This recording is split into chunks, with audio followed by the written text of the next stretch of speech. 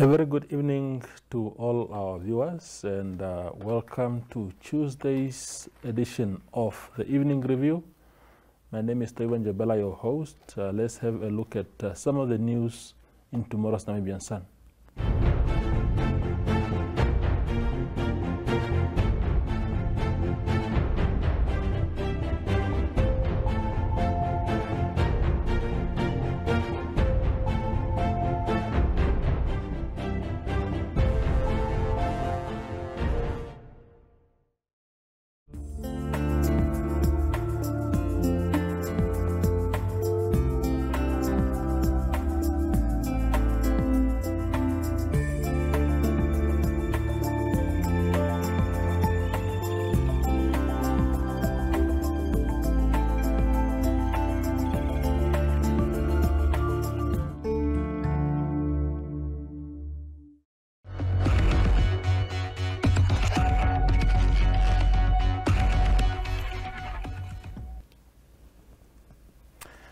Tonight in the studio, we are joined by uh, Festus Muundjua. He is a patron of the Ovaherero Genocide Foundation to share with us uh, a bit of perspectives on some of the issues that uh, he particularly has been writing about uh, in, the, in the newspapers and also as they relate to some of the debates in Parliament uh, recently.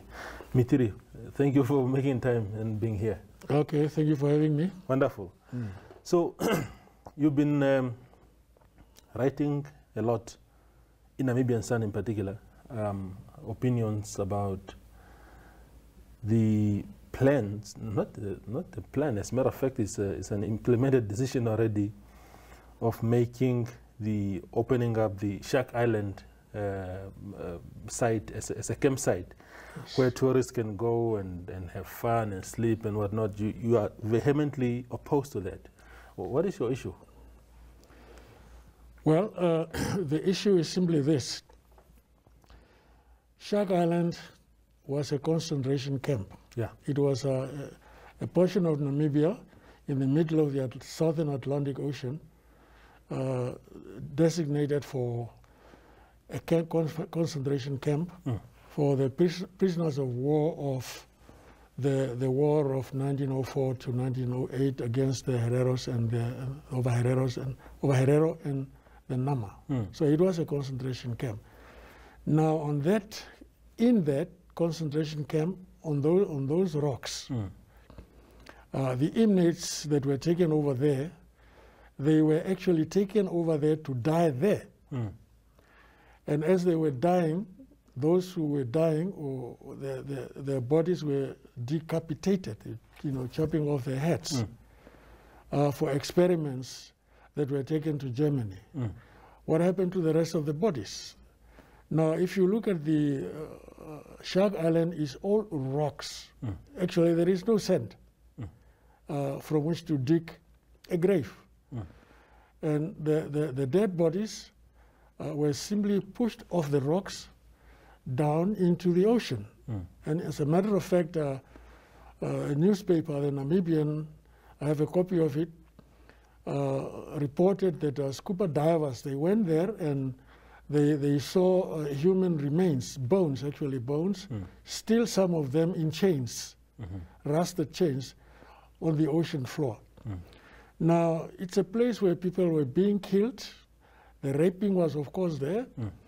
And then, uh, since you could not bury or leave the bones, the dead bodies on the rocks, they had to push them down. Mm. And as far as that goes, and in my opinion, that constituted a grave. Mm. So Shark Island is not just a rock, it's a grave mm, because of what happened over there. The death of the people, the butchering of the people, yeah. and then the pushing them all around the rock where the bodies were pushed down. It was all around it. So the whole area to me, it's, it's, a, it's a grave.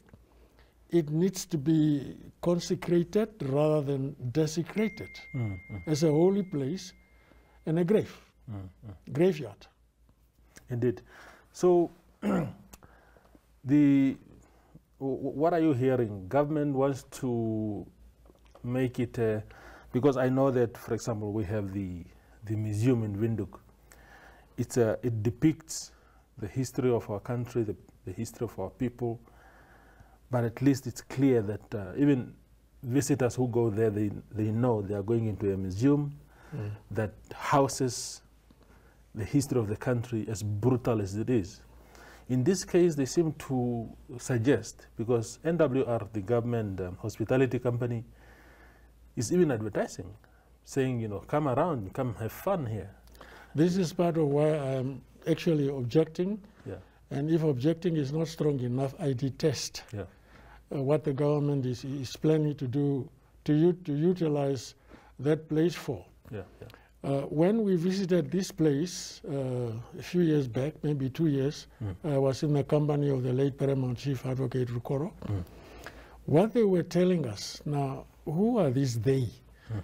Uh, we were in a company of, uh, I wonder if I can show you who were the attendees of that gathering.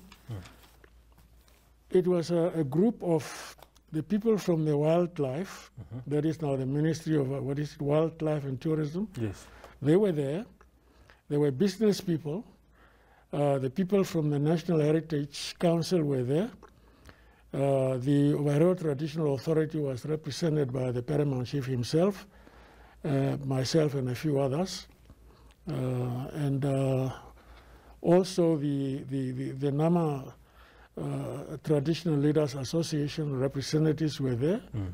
Uh, Gaob Isaac was there, and Gaob Cooper was there, and few others. Mm. And then, of course, the Ministry of Education also was also represented. Mm. The office of the president was represented by the late special advisor, Dr. Ngariku Turge mm. was also there. -hmm, -hmm. And so now, what we're hearing from this group I can't say who said what, who said that, yes. but from uh, the people of the ministry and also the municipality of Luderitz mm. was also there. They are the ones who are telling us that the government is planning to uh, to, to, to make this a, a, a tourist attraction, a, a campsite, mm. where tourists can can come in and bring in development, and, uh, employment, and all those things they were telling us. Mm.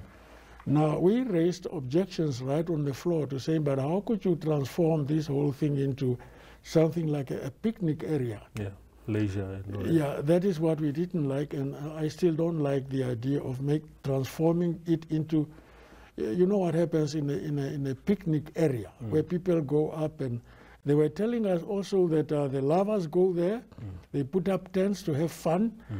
uh, have braais and, uh, and, and, picnic and so on. Now, mm. all these things to me do not, should not, and in our culture, cannot be allowed to happen in a place that is considered a graveyard. Mm, mm. It is a highest form of insensitivity. Mm, so that is why I am not for the, the place to be a campsite the ordinary campsite where people are having picnics and fun. Mm. It's no fun place. It's a, it's a graveyard.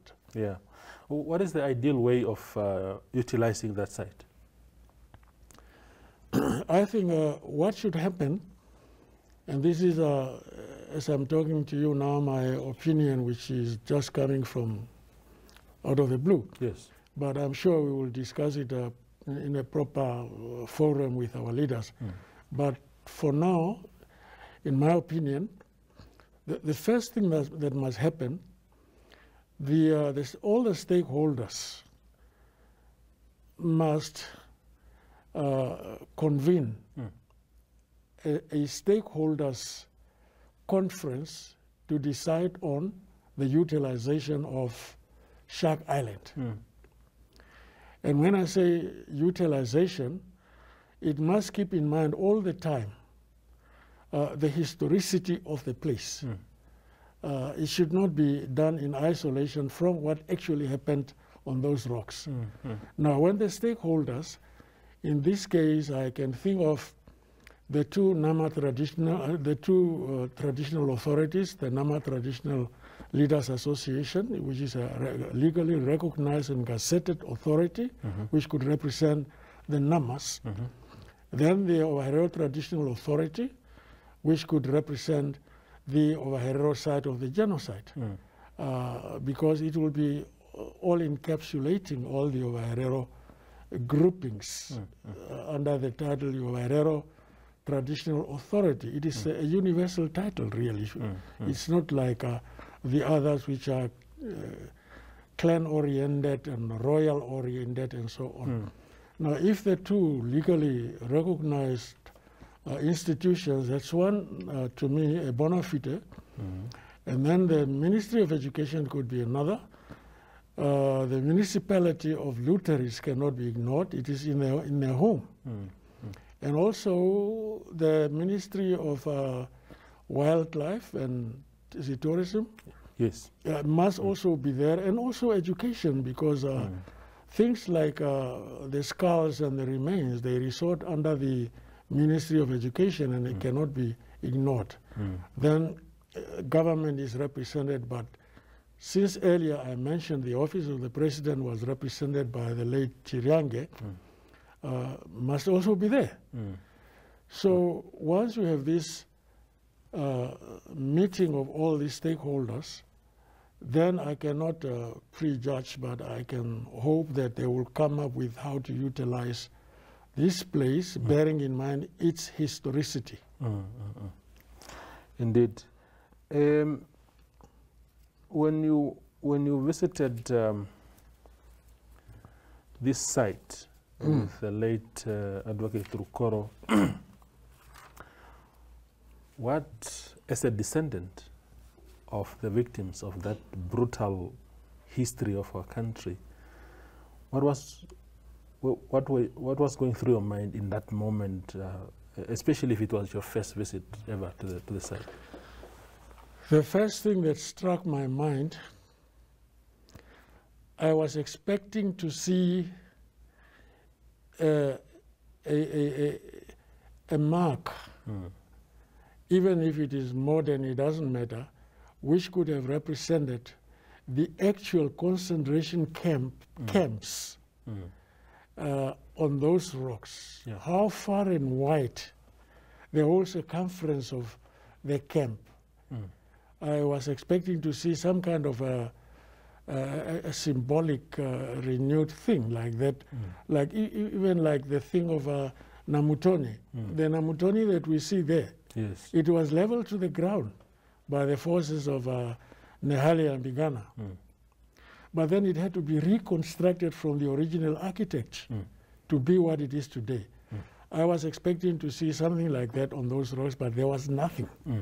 As a matter of fact, Shark Island accommodated two camps, one official and one private. Uh, I was expecting to see the private side of Shark Island, which was run by Dr. Bofinger. Mm-hmm. He's the one who was in charge of the private, private one and who actually demanded the decapitation of the bodies. And once the heads were taken off the bodies, he would take them over to his camp, where he had all the instruments of, uh, you know, sanitizing and packing them and so on. He was working hand in hand with the official side of the rock, uh, run by Dr. Eugene Fischer. So these two camps, I said, but where are the resemblance, the semblance of this? It was not there.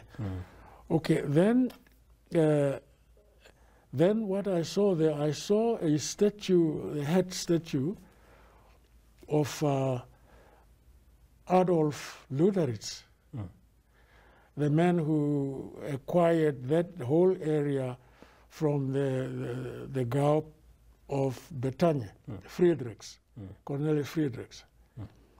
Now, Adolf Luderitz's statue does not fit anywhere in the history of the genocide hmm. because he had long died, I think in 1850 something. He actually he drowned in the Orange River. Mm-hmm. And when it was time for the genocide, he had been dead for more than 50 years. Hmm. So he had nothing to do with it. Why is he there? Hmm.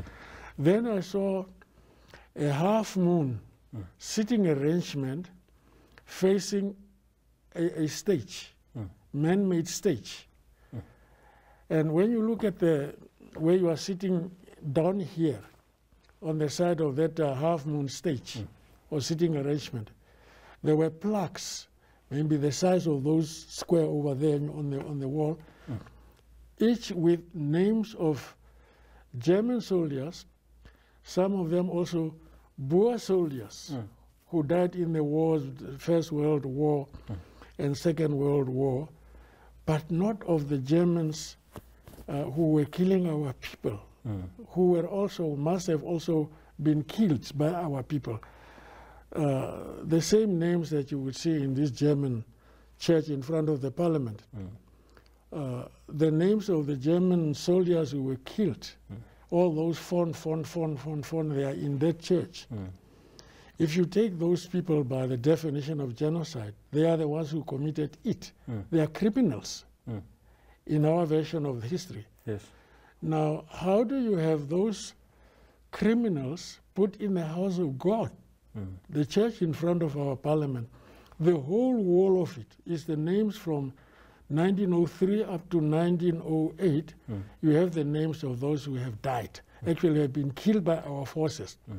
They were glorified inside a church of God. And if you define them as criminals, how can they be housed in the house of God? The- And, and the museum is nearby within a thrown, stone throw. throw away. Yes. Why could they not be, uh, the whole plaque be put in it to be juxtaposed with the skulls that are lying in that museum? Indeed. So the, those plaques down here, I saw them also on, on, on Shark Island, and then I said, but look at this. Now, what is this having to do with this genocide issue? Indeed. Mitiri, we go for a quick break and then uh, we return. Okay.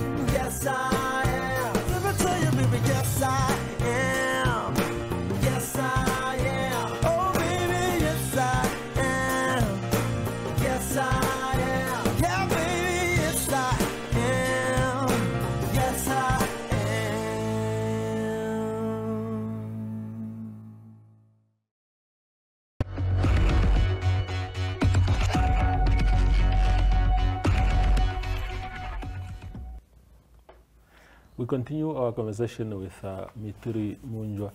Now, uh, the, the, um, you spoke about insensitivity um, of some of the activities that are happening on that island, but uh, how do you view the timing?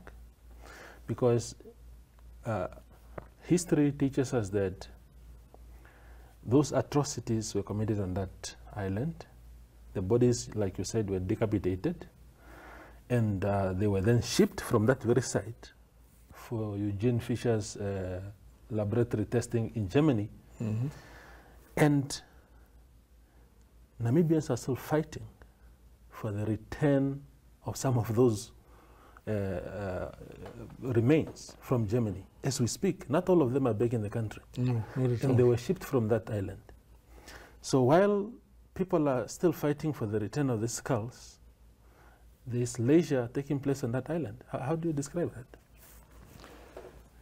That part of the insensitivity, I must uh, apportion the blame to our own government. Yeah. There was a time when uh, the late uh, Gaob Cornelius Yeah. and uh, Miss Ida Hoffman, who was also part of this, but then, of course, she went her own way. Uh, they have uh, collected, they have actually identified some of the bones that were lying in the desert near Luderitz. And they collected this for burial, proper burial, rather than buried in the sand. And uh, this was done by, not by the government. And it was in the news government did not step in to come and take it over Mm. to do what must be done to human remains. Mm, mm. Okay, now, when it comes to uh, this thing of uh, Shark Island, where the government is hearing, uh, there's another one uh, gentleman who wrote from uh, from Luderitz, Mr. Samuel, Mm. who also wrote uh, very well about Shark Island. I read his article; it is Yeah. well articulated. Also, I know I know the person incidentally. Mm. And of course, then my article, and not only my article, but the way we speak generally about genocide, including this, the historical sites, Mm. etc., Lombola Vindimba, Swakopmund, Mm. Karibib, Van Hook, and, and all these historical sites. Mm. Government is hearing this. Why is there no effort to try to even uh, scoop out of the water some of the remains lying on the ocean floor to give, to give credence to the story, Mm. uh, to show these remains which are still in chains, Mm. pull them out, and then I would suggest that on, on, on, Shark Island, Yeah. You must have a museum kind of structure where you would keep some of these things for tourists. The tourists must go there, but not necessarily for For leisure. for, for, for leisure and uh, what, what fun and leisure can you have in a graveyard? Mm. Uh, but for, for, for the people who write history, the historiographers, the historians, Mm. The students, the academicians, Mm. if one could create a, a, a, a building that could house all these things with government effort to pull out. The, the, the, I don't, I'm not suggesting that you must pull out every bit and piece of a, a bone Mm. lying on the floor, Mm. but at least those that you can scoop and polish them and clean them up and then make them uh, archival Mm. material so that when visitors come, they go and see and learn and write about our genocide history, not Mm. so much to go and have fun. Yeah. That is my point that I want to, to emphasize. And government must take note of this and have a special invigorated effort to Mm. try to bring to the fore some of these things. And the, the, the, art- the, the scars are not only in, in, in Germany institutions, Yeah. they are all over. Mm. Uh, the University of Strasbourg in France, Mm. there are about 12 uh, human remains skulls in that university. And there were those other ones in the U.S. the then there are those uh, more than 200 lying in the museum of in, in New York. Mm, mm. Uh, those things, government must put up an effort to try to identify all these things. What about the former East Germany when it was under the, the, the Russians? Mm. Don't we have things also maybe that might have been taken to the to the Soviet Union for their archives and so on? Why are we only concentrating in Berlin, Frankfurt, and, and, and so on? All over the world, there must be a hand for these things. Yes. Now, when you say that, Mitiri, that indeed the remains of uh, the descent of, of, of the of the uh, of the two communities lie around the world, that already gives credence to the fact that uh, it shows the extent of uh, the brutality that our people suffered uh, at the hands of the Germans. Um, which brings me to the next topic uh, briefly uh, genocide negotiations that are taking place in this country. Yesterday, McHenry Venaani held a press conference, and among other things, he said that uh, uh, a new envoy to replace the late Dr. Ngavirue must be appointed, and that the whole process must start over. Um, what is the ideal way, in your in your view, going forward to, to handle this matter once and for all? I think the first thing that must happen, the Namibian government and the German government must declare that what has been attempted by Mr. Polenz and the late Dr. Ngavirue, uh, did not achieve its objective, whatever the objective was. Mm. It, it is a failed effort that must be admitted. Mm. Once you have done that, then you must start it all over again. Mm. Now, all over again, get me right there. Uh, I'm going to be literal and blunt. Yes. Start from zero. Yeah. That's literal. And you start with new negotiating teams. Mm. You don't repeat a failed team. Mm. That is the time when you now have to look at the substitute bench yes. because those that are playing they are now tired yes. or retired and they must get out of the picture. They have had the chance. Mm. Start with completely new negotiators, uh, and you don't start with a failed uh, something, Mm. and you start, you know, making amend here and there. Mm. To me, it should not be a panel beating. Yes. You panel beating a, a, a something. I'm talking about zero. Yes. When you start from zero, you don't panel beat. You start creating a new thing. Mm. So admit it was a failed effort and uh, it was rejected. It is being rejected, and I'm sure everybody now knows that this thing is, is a, a non starter. Mm. Uh, that is why I'm saying be literal and come up with a, a blank check to start writing new figures and new things. Mm. Uh, don't try to improve on the money, the one, 1.1 billion. N- Now you are panel beating. I'm not saying no. To hell with that one. Start a new thing. We don't even know what it will come up with. Mm. The figure will eventually come. Yes. It will be there in the new renegotiation. Mm. But is it all money based and nothing else? Mm. Uh, that is why we say you have to look at examples which are which abound Mm. in the world of previous negotiations. Mm. And our favorite one is the one between the German and the Jews. Mm. Uh, if you follow that one, you can't go wrong with it. Mm. Mm. And in that one, the element of the German Chancellor, uh, which was the case in, in, in between the Germans and the Jews. Dr. Adenauer was the Chancellor in Germany, but he's the one who was driving the whole thing even right into the parliament. He convinced parliament to negotiate with the Jews. Mm. In the case of this one, uh, uh, Chancellor Merkel is there by her conspicuous absence. Mm. She's nowhere to be seen. It's only even when we spoke to some of our parliamentarian friends in the German gov- parliament, Mm. they were telling us we don't know what is happening between Polenz and Dr. Ngavirue. Mm. Parliamentarians of the German government, parliament, telling us that they don't know what is happening. And to some extent, maybe even our own parliament here, what did they know before they joined the declaration? Mm. So it is a matter of starting it afresh Mhm. on a clean slate where we start writing A, B, C, D anew. Yes.